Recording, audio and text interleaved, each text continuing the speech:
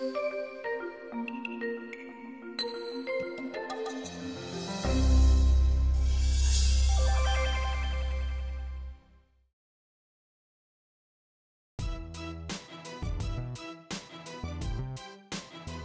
So what we did today is we've been studying the moon and we're working, our big project is working on a lunar base. So what we did today was practice landing on the moon and to have a rover that would land on the moon as well. So they built and constructed a rover and put it in their lander and so they had to land that without harming any of the astronauts, which were eggs on board.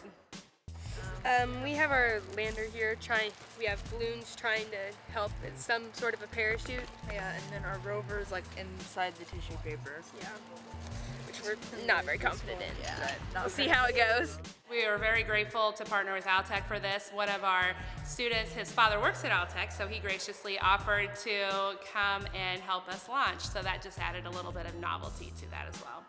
This challenge is always interesting to see which ones are going to succeed because it's not always the ones that you necessarily think are going to. This a plastic bag for a parachute seemed to be really helpful. Yeah.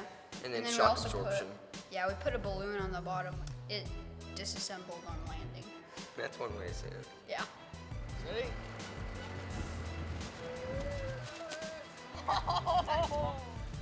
But are they okay? They're no shatter. It's good. Yeah, I'm pretty sure both of them are alive. Here, let me check.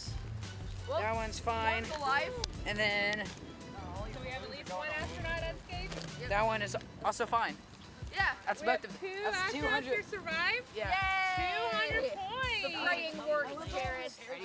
Yep. All right, so they need the tape measure. I'll give it around 43. All right, nice. Jason, how'd yours turn out? Both are cracked. All right, so that's still 50 points, bud.